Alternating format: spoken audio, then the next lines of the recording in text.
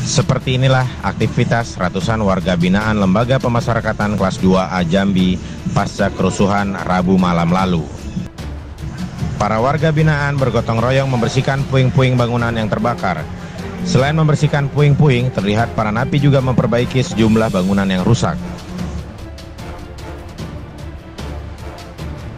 Ratusan napi juga melakukan sholat berjamaah di masjid yang ada di dalam masjid lapas kelas 2A Jambi. Untuk perbaikan sendiri Pak, dimulai kapan Perbaikan masih kita upayakan karena apakah ini bisa dianggap sebagai suatu kegiatan darurat atau tidak. Ya. Sementara melibatkan berapa uh, berapa banyak personil TNI di dalam Pak untuk bersihkan puing-puing Pak? Uh, tadi pagi uh, ada sekitar 40 orang, tapi siang dan sore hari dilanjutkan keluarga kita.